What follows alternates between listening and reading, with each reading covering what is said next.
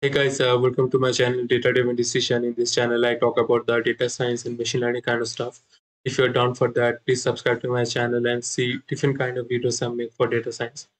So today's topic is a very simple topic. It's just a tuple unpacking in function.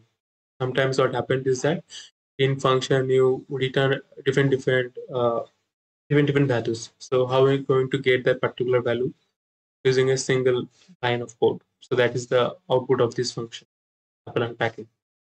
So now I have shown already the previous video how to create this function like income tax finder or different things.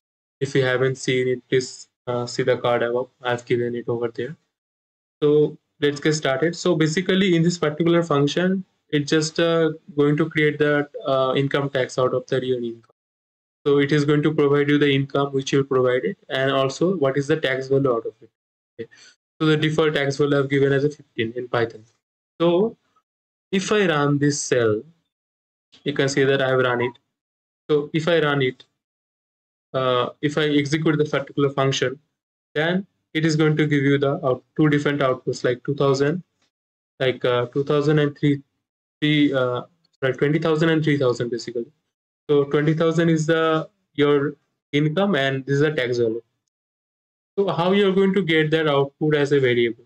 You want to save it something, right? If you return something you have to save it some in some variable. So for that how can you do that? You can just use like this like you can see that over here i've given the income then comma then tax. Then given that particular execution of the function. So what happened is that in this situation it is going to save both 20000 and 3000 inside of income and tax. In this way it is going to work. So if i run this cell if you want to see the tax out of it, what is what is the tax value? So you can just call the tax. It is going to give you the uh, like three thousand as a tax, and if you want to see the income, you can see that. Okay, so you can just run this cell. It is going to give you the income.